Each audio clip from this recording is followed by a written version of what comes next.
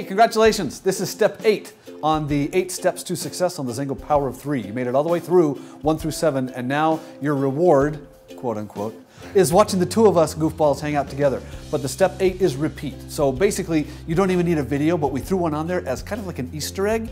So they're going to now learn who we are.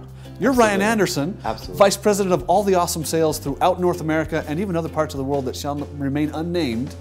Thank you for being Until here, we Ryan. unveil them. until until a later date. Yeah. Absolutely. And this is my great friend and mentor, Mr. Dave Webb, who's over everything even awesomer, which is a word because he is the Vice President of Global Communications and helps with global strategy as well. Just a phenomenal individual. So you guys have been blessed without even knowing that they were You blessed. had no idea who we were. Absolutely not.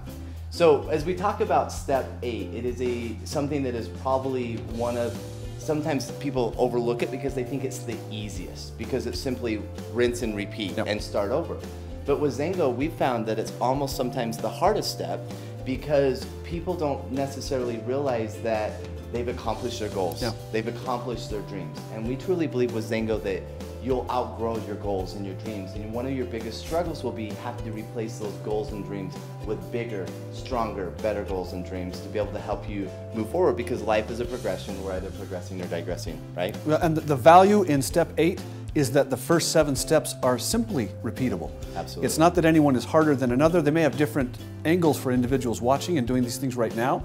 But as you go back to redefine your why, resetting goals, and all those things one through seven, you find out that your accomplishments mean more because you've identified them and you're carrying them forward to another time through. So we like to say the repeat is the most elemental that we need because it reinforces what we had said in one through seven and all the values there for your growth. Absolutely. And the, and the important thing is we're talking about these eight steps. You might read, um, you know, the sample and invite. You're going to do that multiple times. You're not just going through the system doing it once. You um, press play and showing the plan and being able to show people the XANGO lifestyle. You're going to do that multiple times um, before you get to this step. But the, the reality is, is that if you follow these eight simple steps, you will get to the point where you get to hit the repeat button, watch and repeat, replace those goals and dreams with bigger, better, stronger goals and dreams, and continue your life forward living the XANGO lifestyle. Memorize those words, memorize that face, because he's your partner. We're here to take care of you, we're here to work with you, so let's bring it on.